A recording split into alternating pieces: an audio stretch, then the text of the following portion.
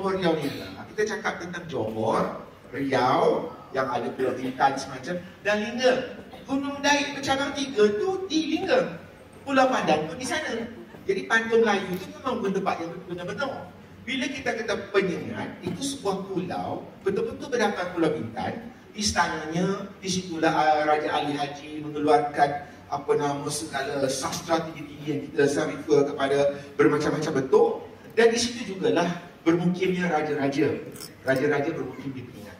Uh, dan pada seketika saya awal-awal berjejak kaki di situ pakai kapal kapal kapal kayu pun ke Penyengat, saya menghadap raja-raja dan mereka main raja gunungnya Bercabang tiga. Bercabang tiga. Bercabang tiga pun.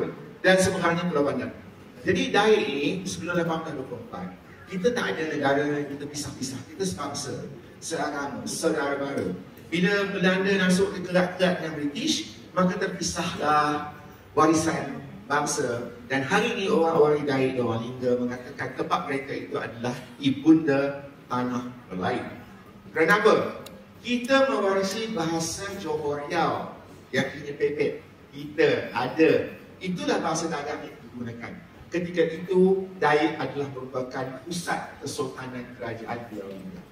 Sebelum berpindah ke Lingga, kemudian yang pindah ke Penang.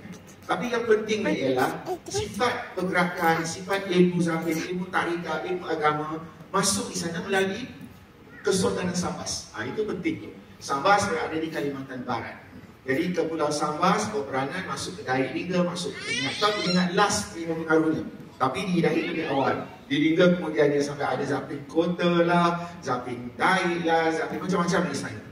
Tapi kita juga di Johor ada peranan dan sambutan Sambas tu kerana kalau kita Zapin-Zapin ni bersih, ada ragamnya ragam Sambas. Jadi dia datang di Pulau Natuna. Pulau Natuna juga ada Pulau Tujuh, juga beberapa sebahagian dari Pulau Melayu. Kita dipisahkan. Sebab itu kalau terbang sekarang, kalau di Sarawak, dia akan masuk ruang udara Indonesia.